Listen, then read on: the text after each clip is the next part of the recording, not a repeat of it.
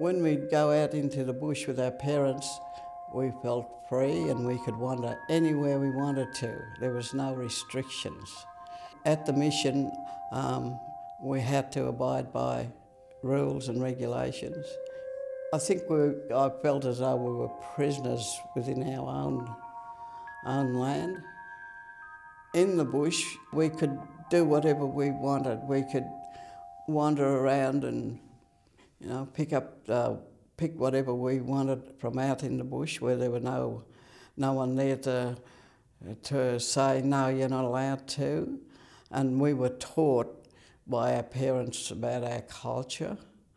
And uh, that's, I think that was the special times for me.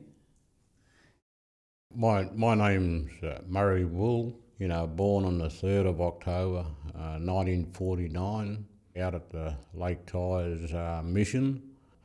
They were the um, good times when the tourists would come along in a, in a big uh, tourist boat called the Bellbird and uh, they would have uh, plastic packets, little plastic satchels, and they would have uh, 20 cents in them, uh, 50 cents in the in the plastic satchels, and they would throw it to us in the water, and then um, you know we wouldn't have any swimming togs on, so we just sort of dive in the water um, without any swimming togs on, you know, and show our bums and all that sort of stuff. Yeah, sort of.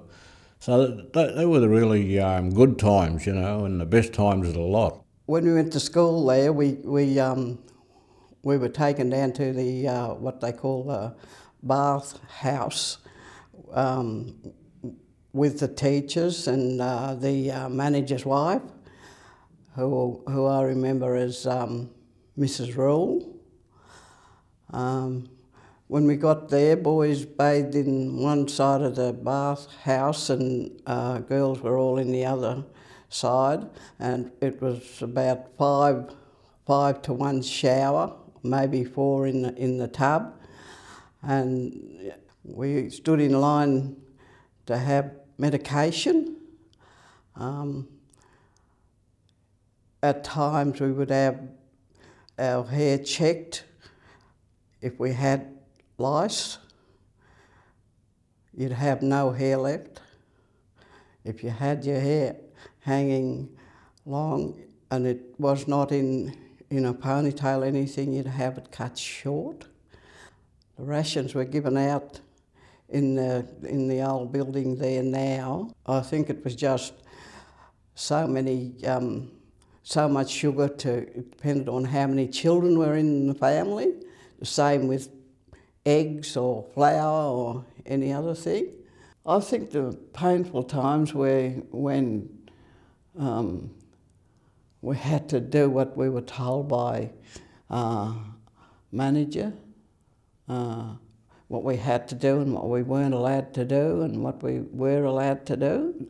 To me, thinking back, it wasn't really bad times. We may have been under welfare in those days, but there were happy times that we enjoyed, and there were sad times that we, we didn't enjoy.